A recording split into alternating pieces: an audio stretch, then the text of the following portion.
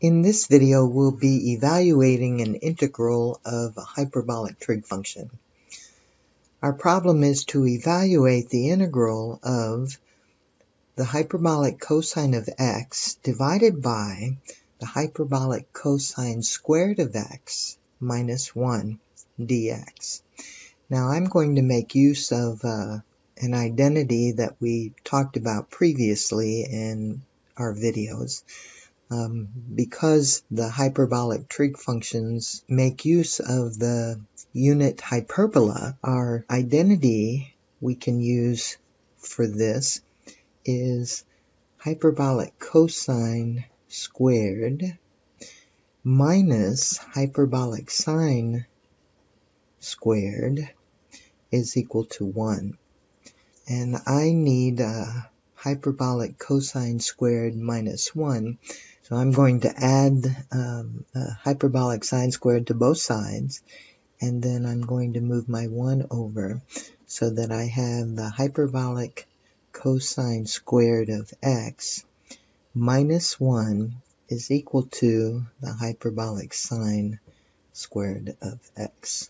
So now I can rewrite this denominator and replace this binomial with uh, hyperbolic sine squared. So the problem now is the integral of the hyperbolic cosine of x divided by the hyperbolic sine squared of x dx. Now I'm going to let u be the hyperbolic sine of x.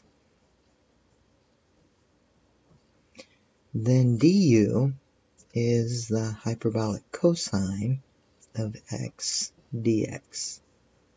So then when I do my u substitution, uh, this becomes the integral of in my hyperbolic cosine of x dx, I'm going to replace with du.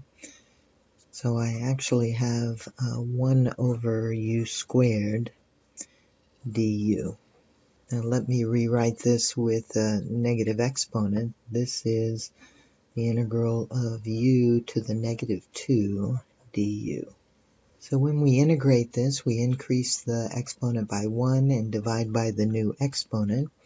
So that is u to the negative 1 divided by negative 1 plus a constant. Now I can sub back in, my u is the hyperbolic sine of x, and this is 1 over.